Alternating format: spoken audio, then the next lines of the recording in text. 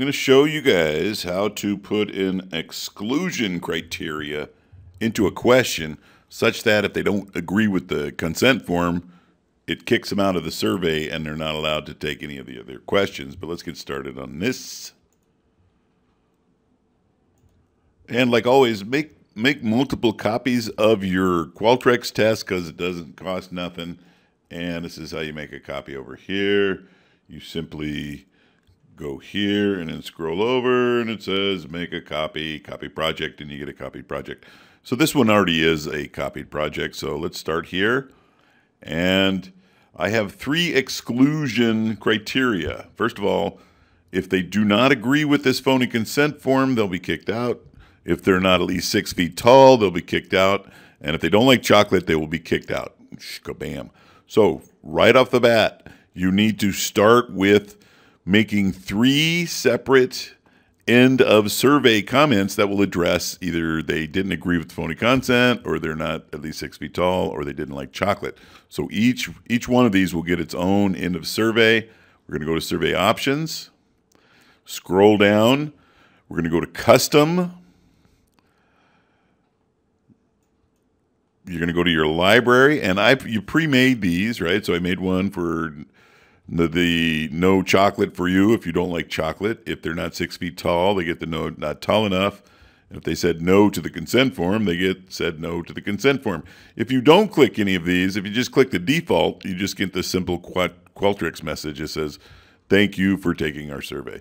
So that's the first thing you got to do is you got to do these, make these new messages. How you do that is just simply click a new message and then make sure you name it up here and then type it up here, blah, blah, blah, blah, blah, and then save it. Very important to save it, and it will show up on your list.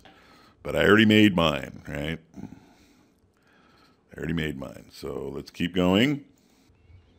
Okay, from the page, you click on it, and you simply go to the first question. You'll notice it says block one. We're going to do this the block way.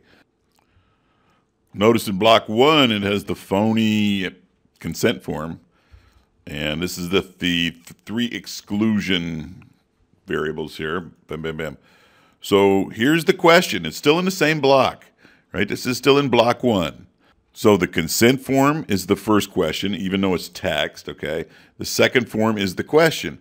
So I want them, when they click no, it will send them to a thank you, but you did not agree with this consent form. So what you do is you click this bad boy, you go up to survey flow, and so this is right after block one. So we're going to add something here. We're going to add what we call a branch.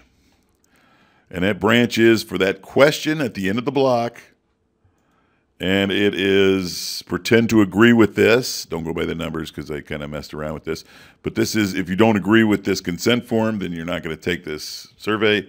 And we're going to put if they select no, okay,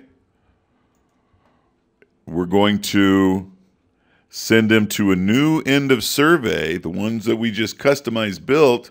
We're going to go to the overrides and we want the custom message. And I want the one that says, no, you didn't, you said no to the consent form. Bam. Click OK. Click Save. Hold on, let me get the Save button on here for you. Click Save. It's way down here. So you're going to save the flow. And let's do a quick preview. We're going to click preview and it's going to look like this. So here's the consent form. And do I agree with it? No. Boom. Took me to this one. Is it that nice? So, and if you do agree with it, there's a consent form. Do I agree with it? Yes. I should just be able to take the rest of the survey. Ta-da, there it is. So, so I hope this helps. MGZ out.